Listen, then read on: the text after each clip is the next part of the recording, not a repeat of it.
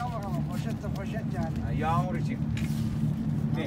Yoksa doldurmak için. Yağmur poşet.